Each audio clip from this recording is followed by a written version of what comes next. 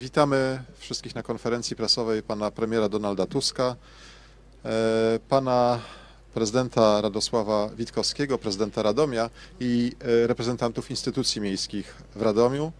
Bardzo proszę o zabranie głosu pana premiera Donalda Tuska. Witam serdecznie.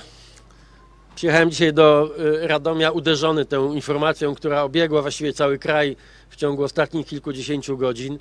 Wcześniej chciałem się upewnić, zadzwoniłem do, do prezydenta Radomia, do pana prezydenta Witkowskiego, bo nie chciało mi się wierzyć w to, że ta informacja jest prawdziwa. To znaczy informacja o skali podwyżek cen prądu dla miasta.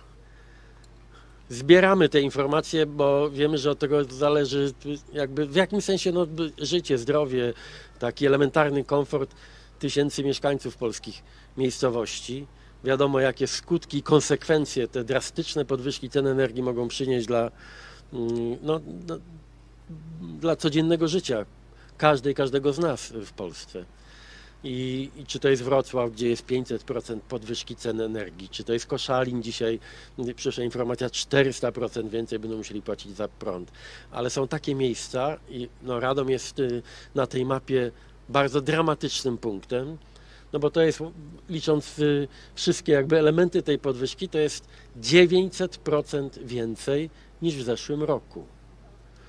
W mieście, gdzie radni partii rządzącej zajmują eksponowane stanowiska w spółkach państwowych, energetycznych, odpowiedzialnych za takie, yy, yy, takie propozycje, takie oferty. Takie jak tu w Radomiu. 900% więcej za prąd. Ze mną są yy, koleżanki, koledzy z samorządu radomskiego i, z, i Mm, no, z miejsc, które mogą najbardziej ucierpieć, między innymi pani kierowniczki i żłobka i przedszkola tu radomskiego. Panie prezydencie, no właściwie te liczby i, i, te dane mówią same za siebie. Ja naprawdę jestem tym, tym, tym no, bardzo, bardzo zaniepokojony, no bo rzeczywiście trudno mi sobie wyobrazić, jak ten listopad, grudzień, styczeń będzie wyglądał w, we wszystkich de facto polskich miastach po tak drastycznych podwyżkach. Panie prezydencie. Dziękuję. Witam Państwa bardzo serdecznie. Przede wszystkim e, dziękuję e, panu premierowi Donaldowi Tuskowi, że jest tutaj dzisiaj e, z nami. Tak jak powiedział zaraz po tym, jak upubliczniliśmy informację o skali planowanej podwyżki, pan premier do mnie zadzwonił i pytał, czy to prawda. Proszę Państwa, no to były na pewno dla nas, dla mnie, jak i dla całej społeczności radomskiej szokujący dzień, szokująca informacja blisko 900% podwyżki, czyli mm, od razu przekładając to na y, wartości, na pieniądze, to z 21 milionów y, na 188 milionów. Tyle de facto powinniśmy zapłacić, jeśli przyjmiemy tę ofertę w roku 2023. Ja już miałem okazję wielokrotnie mówić, jak to może przełożyć się na funkcjonowanie radomskiego samorządu, ale tak jak e, zapowiedział e, pan premier Donald Tusk, są z nami e, panie i pani kierownik żłobka i pani dyrektor przedszkola. Ja chciałbym zaprosić i poprosić panią Katarzynę Górnik, kierowniczkę naszego radomskiego żłobka, jak tak drastyczna podwyżka proponowana przecież przez państwowy koncern, jakim jest spółka Enea, spółka, która jest kontrolowana w 100%, znaczy która jest kontrolowana przez państwo, w której w władzach zasiadają nominaci partyjni, jak może przełożyć się na tak wrażliwe dla naszego miasta działalność jak działalność żłobka. Pani Katarzyno, bardzo proszę, zapraszam do nas i proszę powiedzieć, jak to wygląda z Pani perspektywy. Pani Beata, prawda? Tak. Ha. Pani Batka. Tak jest. Dzień dobry, witam Państwa bardzo serdecznie. E, mogę potwierdzić, że tak, po tej sytuacji, po informacji, która do Państwa dotarła również tutaj e, za pomocą i Pana Premiera, miałam już mnóstwo telefonów od rodziców, jak również dzisiaj rodzice zaniepokojeni przychodzili do mnie. E, mogę powiedzieć, że kwota za fakturę, którą płaciliśmy, była to 3000 bez bez okresu grzewczego. Okres grzewczy będzie to 5000, ale uwaga, razy prawie 9. Na tą chwilę nie potrafię odpowiedzieć rodzicom na pytanie, czy będą mogli przyprowadzać dzieci i czy będą mieli gdzie te dzieci przyprowadzać. My jesteśmy od tego, żeby zapewnić dzieciom bezpieczeństwo, ciepło, żeby dzieci miały jasno, bo to jest miejsce, gdzie my, proszę Państwa, dbamy o najmłodsze istotki tutaj u nas w mieście. Rodzic też musi być spokojny, przyprowadzając do nas te dzieci. On mu, musi pracować spokojnie, nie myśląc, czy dziecku jest ciepło, czy jest widno, czy czuje się bezpiecznie. To miejsce musi być, ono musi istnieć, ale przy tym wszystkim, co teraz się dzieje, nie jestem w stanie, drodzy rodzice, odpowiedzieć Wam na to pytanie. Dlatego liczę na to, że ta sytuacja jakoś znajdzie rozwiązanie. Dziękuję bardzo. Jeśli macie Państwo pytania dotyczące. Tak, pa- pani. Tak, tak. Tej, tej kwestii to jesteśmy do, do Państwa dyspozycji. To w pierwszej kolejności, a później będę do dyspozycji ewentualnie, jeśli chodzi o inne pytania dotyczące. Poprosimy do mikrofonu e, dziennikarzy, bardzo proszę. Rozumiem, że nie ma pytań dotyczących cen energii. To pytanie będzie dotyczące. Bardzo proszę. Y, Łukasz Kościelniak, Rekord Grupa Mediowa Zadomia. Dzień dobry. Panie Dzień dobry. Przewodniczący, y, pytanie, bo wiemy, że e, Radom jest obecnie no, takim niechlubnym rekordzistą, jeżeli chodzi o te podwyżki e, energii. E, 900%. Inne miasta, Warszawa, Wrocław, Poznań, czyli większe miasta, te podwyżki będą mniejsze w porównaniu do Radomia. Z czego w takim razie Pana zdaniem może wynikać tak duży wzrost dla Radomia? Dziękuję. To jest bardzo dobre pytanie. Znaczy, ja bym co prawda y, trochę zmienił tezę zawartą w tym pytaniu. Dla miast y, w Polsce, czy to jest małe, czy duże miasto, podwyżka cen energii o 400, 500, 600% to też jest właściwie podwyżka zabójcza. Ja dzisiaj jestem w Radomiu dlatego, bo tutaj to przekracza wszystkie jakby no, ludzkie wyobrażenie. Znaczy, jeśli mam, macie tutaj płacić za prąd 10 razy więcej niż do tej pory, no to wiadomo, że y, y, y, żłobki, y, instytucje kultury, przedszkola, nie wiem, hala sportowa, no przecież to no, no nie ma siły, żeby to mogło funkcjonować normalnie. Ja się nie dziwię, że nauczyciele w całej Polsce mówią już dzisiaj otwarcie, że e, głównie dyrektorzy y, y, y, szkół, że właściwie po, przy tych cenach energii to prawdopodobnie nie z powodu COVID-u, ale z powodu tej polityki energetycznej y, y, będziemy się znowu, nasze dzieci będą się znowu zdalnie uczyły, bo nie będzie czym grzać w, y, w szkołach, więc y, ja, ponieważ pan reprezentuje y, media radomskie, ja mam taką prośbę, bo ja sam chciałbym to zrozumieć. Ja na pańskie pytanie nie potrafię odpowiedzieć. Dlaczego tu w Radomiu y, y, to miasto ma płacić 9 razy więcej za prąd niż do tej pory? Nie chcę być złośliwy, ale macie na miejscu ludzi, którzy teoretycznie powinni być kompetentni i umieć odpowiedzieć na pańskie pytanie. Macie radnego, jednego radnego miejskiego spisu, drugiego radnego miejskiego spisu, trzeciego radnego wojewódzkiego spisu, dwóch pracuje w e, spółce energetycznej zajmujących się energią elektryczną, jeden y, y, gazem. Cała trójka y, zarobiła w zeszłym roku milion złotych. Ja się nie dziwię, że z ich punktu widzenia ta podwyżka ich właściwie w ogóle nie interesuje. Ale to oni decydują, czy współdecydują o tym, że Radom będzie płacił takie pieniądze. Proszę, wiecie, jak, ja nie przyjechałem tutaj mm, y, wskazywać y, palcem konkretne nazwiska. Wiecie dobrze tu w Radomiu, o kim mówię i kto za to odpowiada. Panie premierze, to jeszcze tylko pozwolę doprecyzować, bo również pytaliśmy ENE przedstawicieli, pan Tomasz Siwak, wiceprezes, mówił, że oferta jest skalkulowana pod potrzeby Radomia, niska jest, marża jest bardzo niska, natomiast to pan prezydent Radosław Witkowski niepotrzebnie psuje relacje z Eneą i tak naprawdę miasto powinno się cieszyć, że Enea jako jedyna firma złożyła ofertę w tym przetargu. To jest, to jest kapitalny komentarz, to jest e, pańskie słowa na temat te- polityki energetycznej i tego, co czeka polskie miasta, polskie miejscowości mm, pod y, tymi rządami. Znaczy, ja, bo być może nie wszyscy usłyszeli i sądzę, że to jest rzetelny cytat. Tak, to jest cytat z pana Tomasza Siwaka, wiceprezesa zarządu Więc- Enei, tak.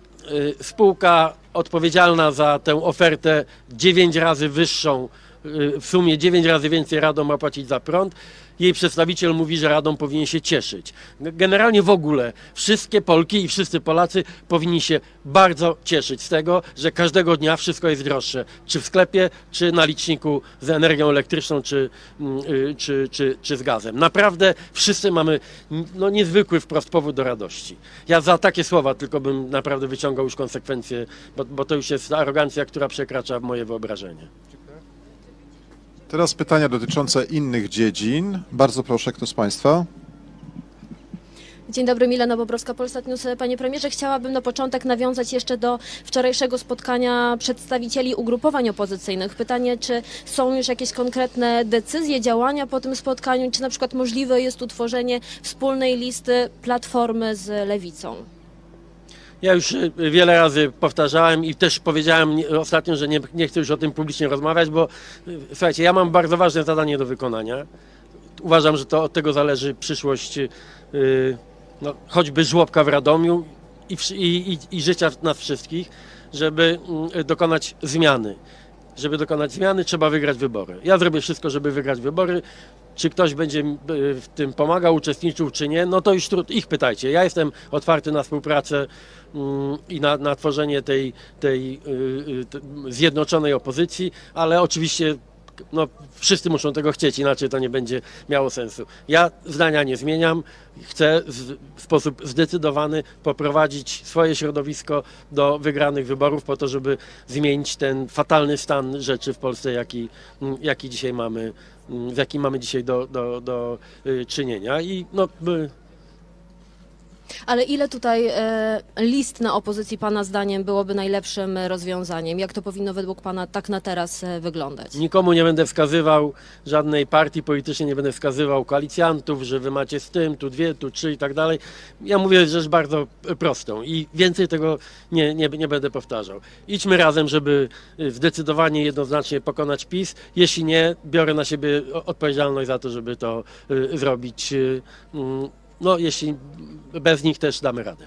Panie premierze, nie wiem, czy pan widział najnowszy spot opublikowany przez premiera Mateusza Morawieckiego, który kończy się hasłem Nie kłam Donald i wypomina panu sojusz energetyczny z Rosją, umowy e, z Rosją. Pytanie, czy po pierwsze właśnie pan go widział, a po drugie, jeżeli tak, to czy możemy prosić o, o jakiś komentarz, jak się pan do niego odniesie?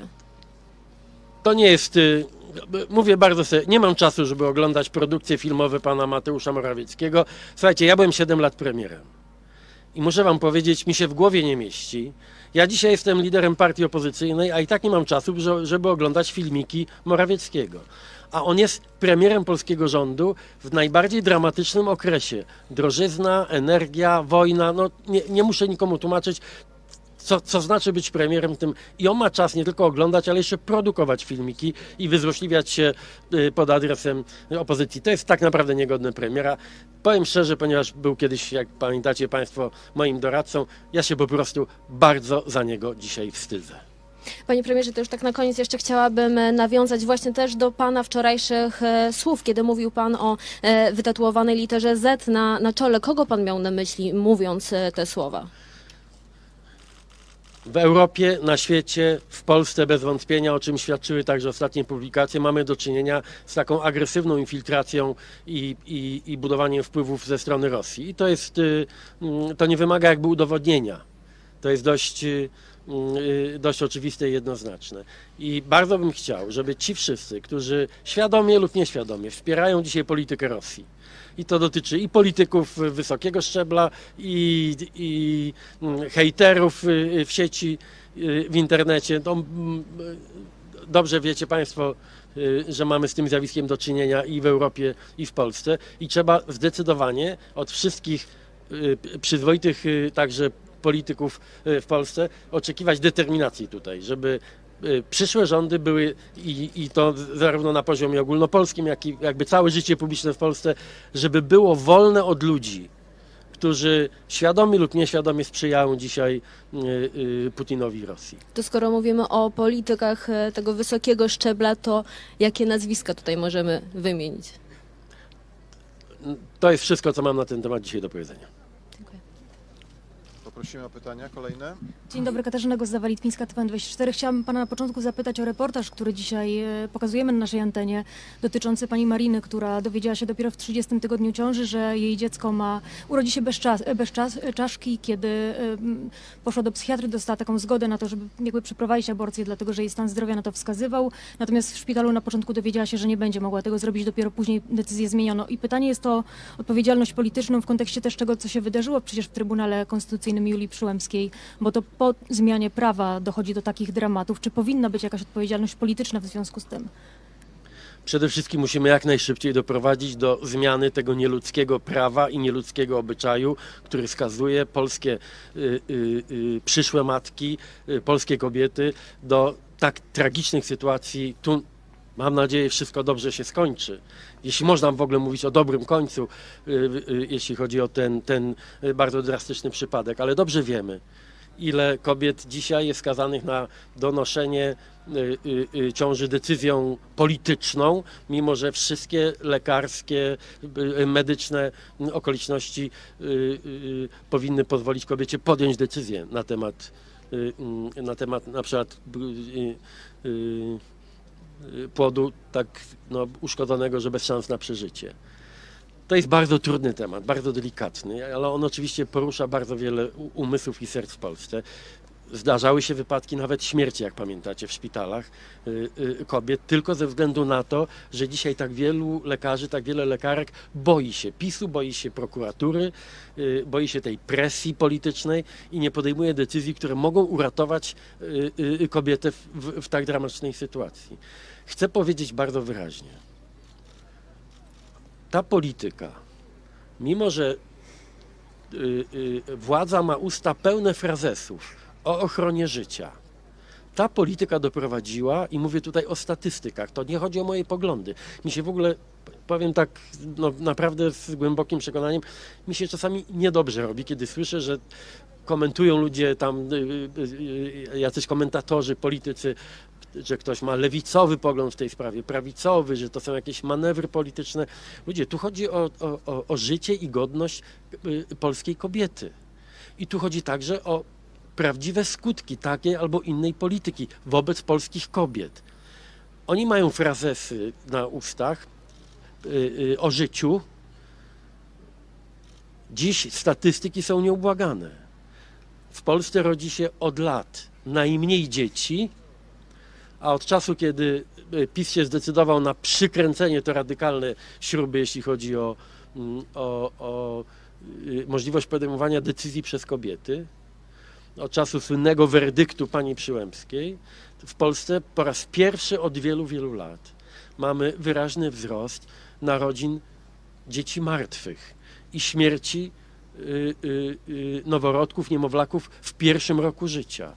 Jest tak źle, jak no, przez lata w Polsce nie było. To jest pierwszy moment, kiedy wyraźnie spada liczba urodzin i wyraźnie rośnie liczba urodzin martwych dzieci. To jest rezultat tej polityki. To nie jest, to nie, nie chodzi o żadną ideologię. Co mnie tam obchodzi, co Kaczyńskiemu w tej sprawie w głowie siedzi. Tu chodzi tak naprawdę o mądrą, godną i, i chodzi o godność y, y, przede wszystkim polskich kobiet, politykę, która w konsekwencji także da więcej y, narodzin zdrowych dzieci, bo przecież o to też chodzi. Więc y, ten kolejny bardzo drastyczny przykład y, pokazuje, że tutaj zmiany są potrzebne i to natychmiast. Zmiany, które pozwolą, tak jak jest w każdym normalnym kraju, o ciąży decydować kobiecie, lekarzowi, rodzinie, a nie, że to musi być jakiś polityk, y, y, bo on będzie wedle własnych jakichś obsesji decydował, co ma robić polska kobieta. Wcześniej mówili Państwo o cenach prądu, ja bym chciała zapytać o ceny gazu. E, Jaka by była Pana propozycja w związku z tym, że no, pewnie te rachunki też będą bardzo wysokie, rząd ma coś planować w, w tej sprawie? No co ja mogę powiedzieć o, o, o, o rachunkach? To akurat tutaj też y, y, y, w Radomiu była głośna sprawa piekarni i cukierni, która bardzo popularnej, która padła no, kilka, kilkanaście tygodni temu właśnie z, z powodu cen, cen gazu. Ja, jak wiecie, jeżdżę po Polsce i właściwie i nie, ja się nie cieszę z tego powodu. Ja nie mam satysfakcji z tego powodu, że ten mój szlak od miasta do miasteczka, od wsi do dużego miasta, to jest szlak głównie po upadających y, małych, średnich firmach, takich jak rodzinne piekarnie, cukiernie, pizzerie, czy też zagrożone coraz większe zakłady y, y, pracy. Te ceny gazu też, no jak wiecie, są bardzo dotkliwe. Od tego właściwie ja pamiętam te swoje smutne życzenia świąteczne, noworoczne, kiedy ludzie dostali pierwsze y, rachunki, pierwsze informacje, ile będą płacili za gaz y, y, w swoich domach. No, y, mm, w kilku państwach europejskich już mamy przykłady, gdzie rządy podejmują decyzje takie jednoznaczne. To znaczy zachowanie cen przynajmniej na ten najbardziej krytyczny rok, cen sprzed tego y, y, y, y, dramatycznego załamania i to byłaby prawdziwa tarcza. My dzisiaj na razie, jeśli dobrze wiem, w Radomiu macie ten sam problem. Ludzie dowiedzieli się, że mogą dostać 3000 na węgiel. Ja pomijam, że, to oczywisty fakt, że to nie starczy. Ale w dodatku chodzą i odbijają się, bo urzędy nie dostały tych pieniędzy. Znaczy dostały obietnice.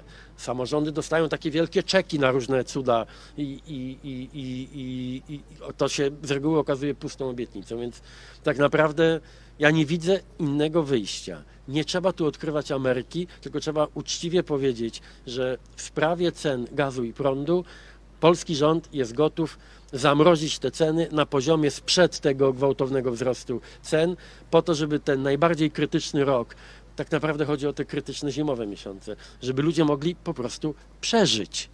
I no, mam nadzieję, że to w końcu dotrze do rządzących. Czy powinna być jakaś mm, reakcja Zachodu na orędzie Władimira Putina?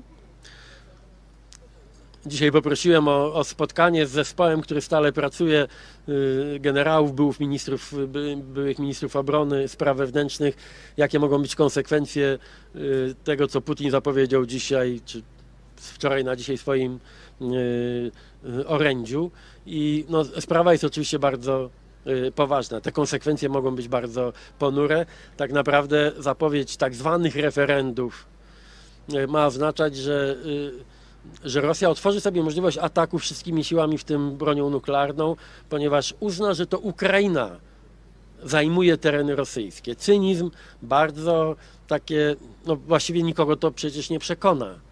Poza tym, że mm, Rosja pręży muskuły i chce pokazać, że jest zdeterminowana i chce użyć ponownie szantażu, że użyje wszystkich argumentów, w tym broni nuklearnej przeciwko Ukrainie, mm, y, jeśli mm, Ukraina się nie podda. To jest moment próby. Ja będę miał też szczegółowy raport, jeśli chodzi o y, y, konsekwencje militarne i logistyczne tych decyzji, ale to jest też moment próby takiej politycznej dla całej Europy i całego Zachodu. Ja tutaj o Polskę akurat tutaj się nie różnimy mm, i o Polskę jestem spokojny, żeby nikt w żaden sposób się nie zawahał przed tego typu szantażem.